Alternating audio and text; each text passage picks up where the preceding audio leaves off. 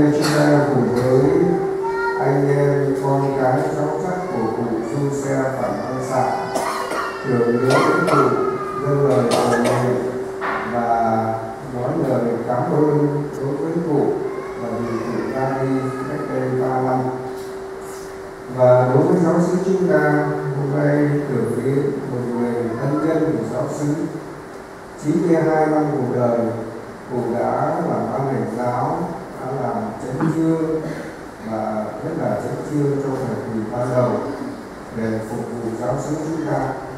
Phục vụ không phải vì lương lậu hay là bằng sắt hay là bằng cái danh vọng của thế gian, nhưng mà phục vụ là một lòng mến xuống yêu người yêu mến giáo xứ này và xây dựng giáo xứ này.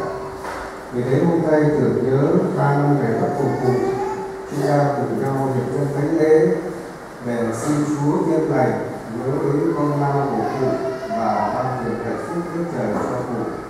Và cũng xin cụ, cần chú rồi để hãy cầu nguyện cho giáo sứ chúng ta hiệp thông đoàn kết để cùng nhau xây dựng giáo xứ càng ngày càng tốt đẹp hơn. Giờ đây chúng ta thành tâm sám hối, xin Chúa ta thứ lỗi lầm của chúng ta, để chúng ta được hành thánh lễ sốt sắng.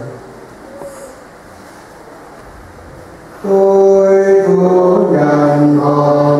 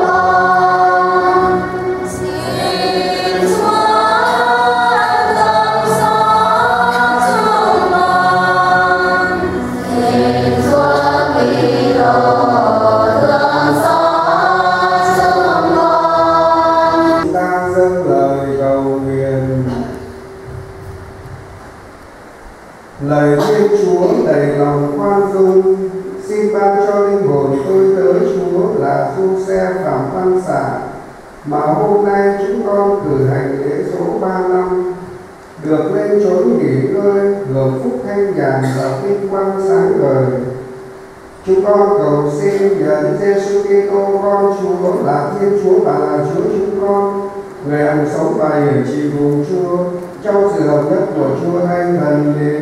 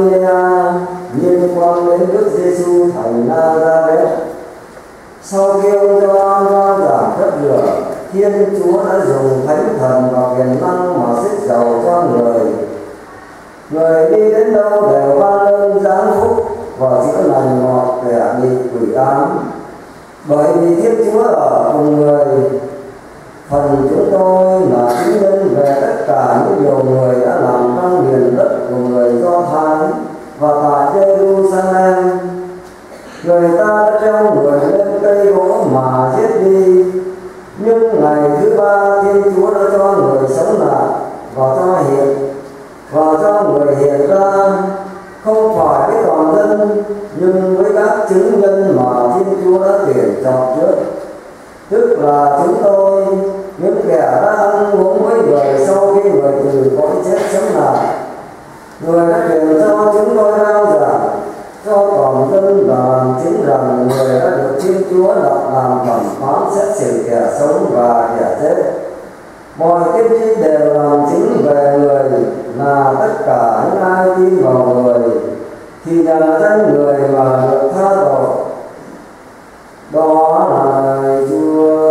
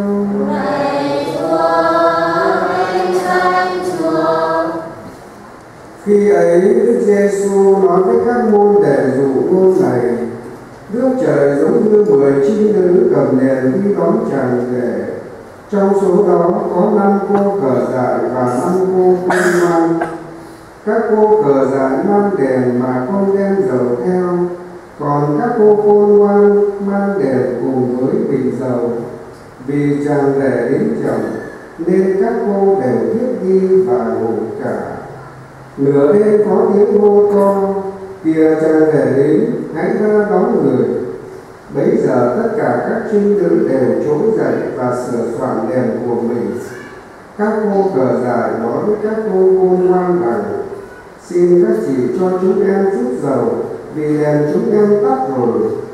Các cô cô ngoan đáp lại, sợ không đủ cho chúng em và cho các chị, các chị hãy ra hàng mà mua thì hơn.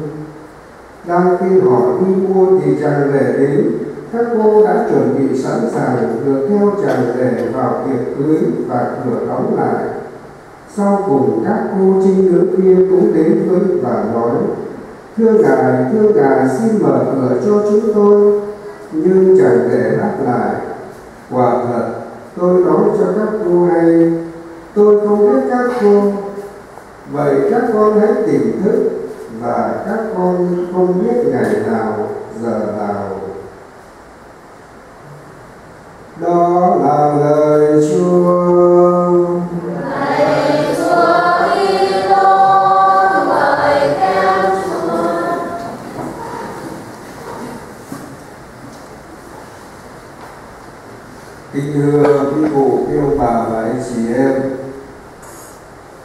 Ta vẫn thường nghe cha ông chúng ta nói rằng sống khôn thì chết thiêng. Và câu nói này chúng ta cũng để ý trong cuộc sống chúng ta. Có hai thực tại luôn luôn tồn tại.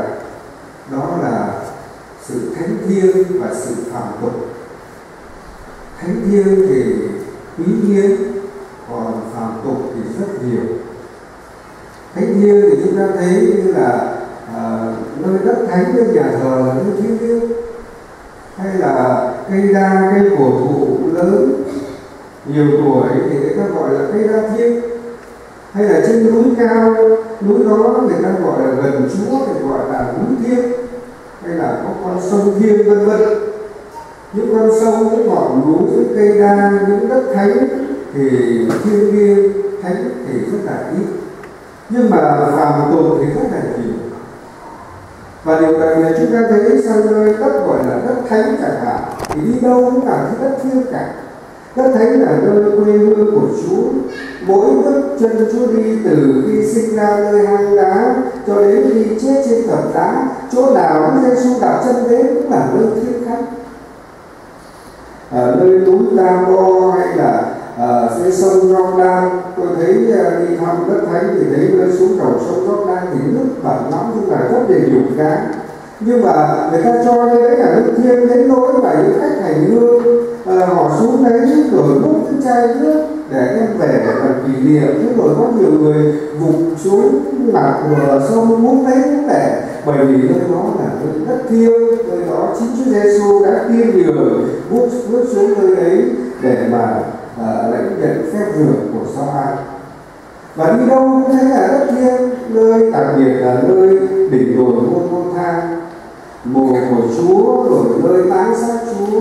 Nhiều người vì đó cầu nguyện bây giờ bởi vì người ta tin rằng nơi đó là nơi thiêng thánh và cầu nguyện ở nơi này ấy được uh, uh, toàn nguyện hơn vì thế mà nơi các thánh chỗ nào cũng thiêng bởi vì nơi đó là nơi có Chúa Giêsu là quê hương của Chúa Chúa Giêsu đã từng sống và đặt chân ở bất cứ ở nơi nào trên đất nước ấy. Cho nên đi đến đâu cũng gọi là nơi thiêng đất thiêng nơi ngọn núi Chúa đến cầu nguyện để gọi núi thiêng nơi hồ Chúa xuống để uh, chỉ phép rửa để làm hồ thiêng nơi rừng nơi vườn nhiệt sinh mang đi cũng cầu nguyện để nơi thiêng rồi cây người ta vẫn còn giữ lại cây sung mà ông ra kêu trèo lên đó để nhìn Chúa. Có lẽ người ta bảo, cây sung ấy là hai ngàn năm rồi, cây sung ấy cũng là cây nhiên thế vừa vườn nhiệt sinh ma đi vườn cây ô nhiêu người ta vẫn còn giữ những cây củ thủ lâu năm như vậy. Muốn nói rằng đây là những cây thiên phải chứng kiến cơn hấp hối của Đức Giêsu. Vì thế kính thưa quý ông bà và anh chị em, nơi thiên thánh thì rất ít, nhưng mà nơi phàm tục thì rất là nhiều và chúng ta khi nói đến nơi thánh uh, vật thiêng đất thiêng núi thiêng của cây thiêng nhưng mà con người thì chẳng ai nói là con người thiêng cả. Nhưng mà thiêng là khi chết rồi mới thiêng. Và vì thế mà người ta nói rằng là sống khôn chết thiêng. Vậy thì muốn thiêng muốn lên thánh muốn gần chúa muốn được thiêng liêng sáng láng thánh thiện gần chúa thì phải khôn thế nào khôn theo kiểu thế gian hay là khôn theo kiểu lời mời gọi của chúa? Mà khôn theo kiểu thế gian thì khác. Khôn theo kiểu thế gian là khôn nhưng mà không ngoan. Còn khôn theo kiểu Chúa hôm nay trong bài phúc âm, Chúa nói về dụ ngôn mười cô trinh nữ năm cô cờ dài là năm cô khôn ngoan. Khôn nhưng mà phải ngoan nữa chúng ta thấy trong cuộc đời này nhiều người khôn lắm nhưng mà không ngoan khôn vì kiếm tiền, nhưng mà lại làm hại người khác là khôn. Nhưng mà làm hại người khác là không ngoan một em bé ờ, đến nhà nào cũng thấy lấy của cho vào nhà mình, hay là ai đến nhà mình xin cái gì cũng không cho. Thì bảo cháu có khôn lắm, nhưng bảo cô đấy là khôn lòi cô đấy không phải là khôn ngoan. Vì thế mà muốn chết thiêng muốn thánh muốn gần chúa muốn về nước trời và gần chúa để cầu nguyện cho chúng ta thì là phải là khôn ngoan, thương yêu bảo anh chị em. Nhưng mà chúng ta thấy ở trong cuộc đời người ta vẫn thường nói với những người khôn già nhưng mà dại chậm. Bởi vì thế này, khi các sứ các họ đạo, bầu ban hình giáo chẳng hạn, có nhiều bà vợ nói với chồng mình, ông đừng có đi đi người ta sẽ bầu ông đấy thế và nhiều khi ông mà không được nhắc nhở thì đi đi rồi người ta bầu làm nó hành giáo hay là nó chính chưa chẳng hạn, thì về được thì vợ mắng rằng, sao ông vào giáo nó ôn thế mà ông ra ngoài ông dạy thế ông nhận làm gì, có lương, có lậu gì đâu. Người ta làm thì có lương lòng của mình đây làm này, không lương, không lòng ăn cơm nhà bác tù và hàng tổng thế rồi trên đe dưới cuốc trên thì cha kiểm trách dưới thì dân trên trách được lợi lộc gì đâu? Ông chỉ được cái khôn nhà, nhưng mà giải trở. Ở nhà thì ông khôn bắt đàn vợ con, mà ông ra ngoài đường, ông ra nhà xứ, thì ông giảm thế. Thưa quý ông bà và anh chị em, giáo hồ cũng như xã hồ rất cần những con người già như vậy. Già là vì họ nghĩ đến người khác mà không nghĩ đến mình. Chúng ta thấy ở xã hội cũng đầy thấy những con người như thế có thể đường xá, cầu cống, bệnh viện thì thiếu giường, thiếu thuốc chữa bệnh, nhà trường thì thiếu các phương tiện để dạy học. Nhưng mà các lâu đài biệt thị của các quan chức thì rất là đầy đủ tiện nghi. Có những người hàng ba, bốn chục cái biệt thự, nhà đầy giấy, đầy như và cái công trình phúc lợi của chung, của nhà nước, của nhân dân, của tất cả đường xá và cầu cống chẳng hạn để chống hư hỏng. Bởi vì có những người chỉ có ở nhà thôi lời đầu cho gia đình của mình, nhưng mà không không dạy ở chờ tức là không không muốn phục vụ xã hội loài người. Nhưng mà xã, giáo hội cũng như xã hội rất cần những con người như thế thương yêu bà và anh chị em. Chính vì thế hôm nay Đức Giêsu nói với các môn đệ cũng như là nói với mỗi người chúng ta về năm cô cờ giải và năm cô khôn ngoan. Năm cô cờ dài thì chỉ nói đến sự việc trần thế thôi còn năm cô khôn ngoan thì biết lo cho sự sống đời sau, biết làm việc thiện biết lo nghĩ đến người khác, chuẩn bị giàu đèn cho cuộc đời mình. Thấy các mọi việc của xã hội, của giáo sư thì không phải theo chủ nghĩa như là mặc kệ đó nhưng mà xả thân và phục vụ. Thì đó là những con người dạy có thể là dạy là thiết gia nhưng mà ôn trước mặt thiên chúa với những bà và anh chị em. Và những người khôn ngoan trước mặt thiên chúa thì khi chàng rể đến thì họ được sẵn sàng như là có những nhân đức của mình như là thức dầu thức đèn để chàng rể sẵn sàng đưa họ vào tiệc cưới nước trời còn những người mãi lên thế sự chỉ biết lo cho mình không biết nghĩ đến người khác thì cửa nước trời cửa phòng tiệc đóng lại. Chính vì thế thì thưa quý ông bà và anh chị em các giáo xứ giáo họ của chúng ta à, đời nọ đến đời kia tồn tại và phát triển là nhờ có những người à, dạy trở khôn có thể là không khôn ở gia đình, nhưng mà dạy đối với giáo xứ, đối với công việc chung, để họ xả thân vào, để mà xây dựng giáo xứ, xây dựng giáo hội. Chúng ta được mời gọi các cô chị nữ khôn ngoan khi chúng ta thấy những công việc chung của giáo xứ, thấy ca đoàn có người dạy hát, có người dạy đàn, phải bỏ việc công ở nhà, việc chung ở nhà. Ở việc gia đình của mình có thể xả thân vào để phục vụ giáo xứ, phục vụ ca đoàn thấy các em thiếu nhi nó không có người dạy dỗ, không có người bảo ban không có đèn nếp không có lễ phép.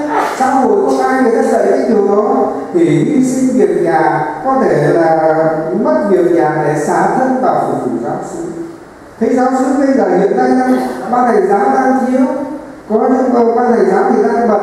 Thì nhận thấy như thế thì xả thân vào làm việc để mà xây dựng giáo xứ xây dựng lợi ích chung thấy giáo xứ hay cộng đoàn thiếu cái gì, hay là các à, công việc của giáo xứ chúng ta xả thân vào phục vụ, thì đó là những người khôn ngoan theo nước trời, theo hình ảnh mà Chúa Giêsu mở bỏ và xứng đáng được hưởng hạnh phúc nước trời. Thưa quý bà và anh chị em, cụ du xe, phạm văn xạ của chúng ta sống 92 năm cuộc đời đã tham gia ban hành giáo, đã tham gia hội đồng giáo xứ để phục vụ giáo xứ chắc chắn không phải vì đưa vì lậu bởi vì chẳng có lương có lậu gì. Cũng chẳng vì bằng sắc thế gian, cũng chẳng thể vì là lợi lộc trần thế hay danh dự trần thế này. Nhưng mà vì một lòng một dạ để xây dựng giáo xứ đó là những người có chọn lựa khôn ngoan vì thức trời chúng ta hy vọng cụ đang hưởng nhan thánh chúa đang rất thiêng liêng, thánh thiện gần chúa và lời cầu nguyện của cụ có thế giá trước mặt chúng ta vì thế hôm nay sân thánh tế này cũng là điều nhắc nhớ chúng ta nhớ một vị ân nhân của giáo xứ cầu nguyện cho cụ đồng thời gần tiên xuống cầu cụ của cầu cầu nguyện cho giáo xứ chúng ta bình an đoàn kết để xây dựng giáo xứ càng ngày càng tốt đẹp hơn. Mặc dù có thể nghèo mặc dù có thể còn những thiếu khuyết nhưng mà không vì thế giống như cha ông cha vẫn nói à, con không chê cha mẹ có chó không chê chủ nghèo mặc dù là cố gắng nỗ lực hết mình, nhưng mà vẫn còn những khiếm khuyết không phải vì những khiếm khuyết ấy là chúng ta nói xấu tôi nhỏ trên trường quốc tế, trên mạng trên chỗ nọ chỗ kia.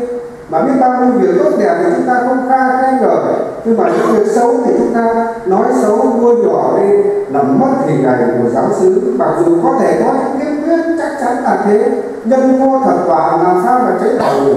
Nhưng mà không phải vì thế chúng ta nói xấu trước mặt người đời, mà chúng ta hãy xây dựng giáo xứ, xây dựng quê hương. Giáo phận thì luôn luôn là giáo phận mẹ, giáo xứ luôn luôn là quê cha đất tổ.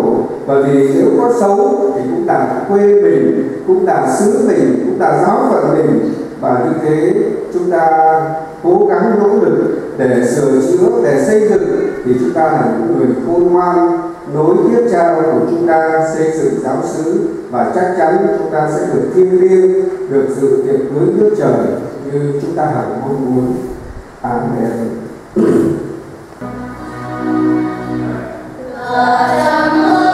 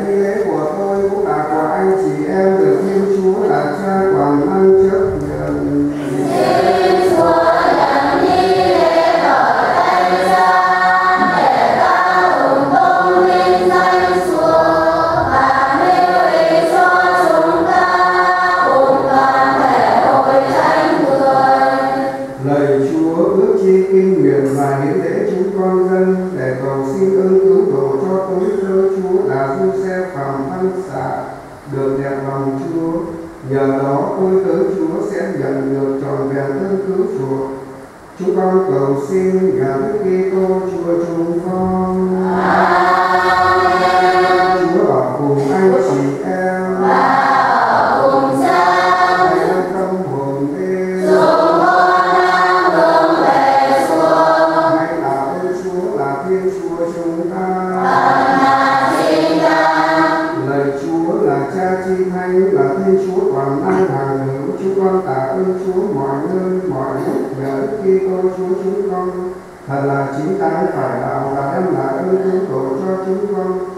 vì một mình người đã chịu chết để chúng con khỏi phải chết.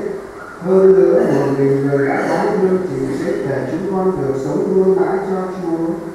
Vì thế hiểu với cộng đoàn các thiên thần chúng con ca ngợi Chúa và hân hoan tuyên xưng rằng. Lời Chúa, Chúa thật là tấn thánh, là nguồn mọi sự thánh thiện. Vì thế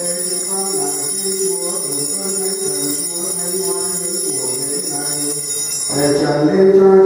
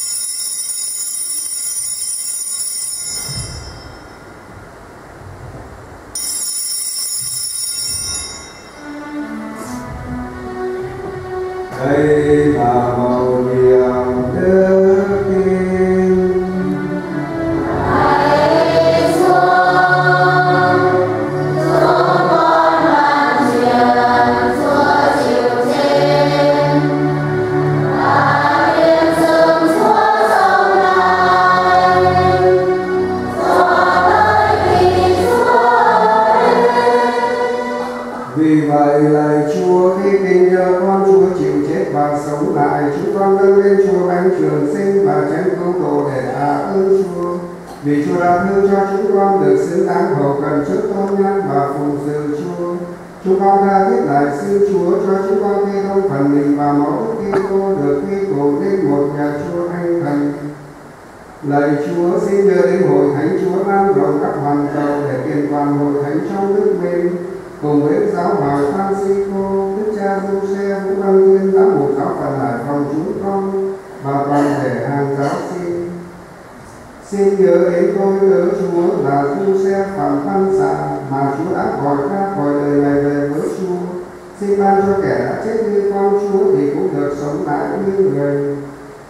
Xin Chúa cũng nhớ anh chị em chúng con đang ăn nghỉ trong niềm hy vọng sống lại và mọi người đặc biệt các bậc tổ tiên ông bà cha mẹ và thân bằng dưới thuộc chúng con đã đi trần trong tình thương của Chúa xin cho hết thảy được vào hưởng ánh sáng tôn nhan Chúa chúng con là xin Chúa thương xót tất cả chúng con cho chúng con được đồng hưởng sự sống đời đời cùng với chính nữ Maria mẹ Thiên Chúa Thánh Giuse và các anh đức tin nữ các thánh công đồ và toàn thể các thánh đã sống đẹp lòng chúng trong mọi thời đại và cùng với các ngài chúng con được ca ngợi và tôn vinh Chúa nhờ Giêsu Kitô con Chúa. Trên nhờ người với người và trong người mà mọi danh dự và vinh quang đều quy về Chúa là Cha toàn năng trong sự hầu nhất của Chúa Thánh Thần đến muôn đời. Vâng lạy Chúa thế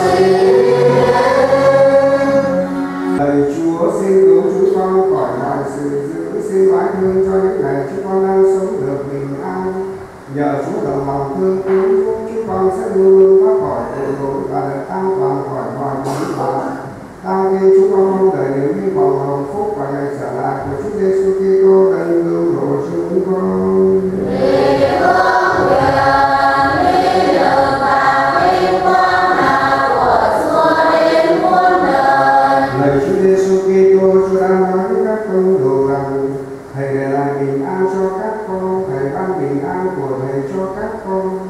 Xin đừng chấp tội chúng con, nhưng xin nhìn đến đức tin của hội thánh Chúa. Xin nói thương ban cho hội thánh được bình an và hợp nhất theo tay đi Chúa. Chúa hằng sống và hiển trị muôn đời. Bình an của Chúa hằng ở cùng anh chị em.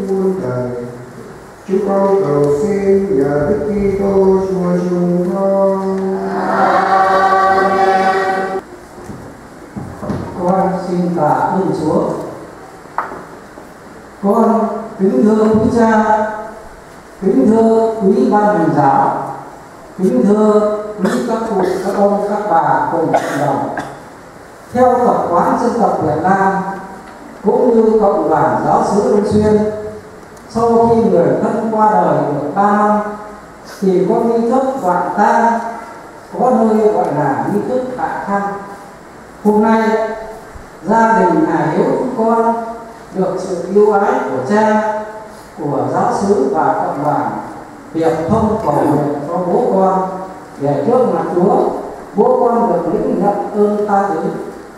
Đây cũng là một thể hiện lòng tri ân của người, những người còn sống với người đã qua đời. Con xin thay mặt cho mẹ con cùng toàn thể gia quyến có lời cảm ơn cha, cảm ơn ban hành giáo nhà xứ, cảm ơn các cụ, các ông, các bà cùng cộng đoàn con kính chúc cha cùng cộng đồng được nhiều ơn chúa mạnh khỏe và bình an một lần nữa con xin chân thành cảm ơn. Chúa ở cùng anh chị em. cùng cha. Xin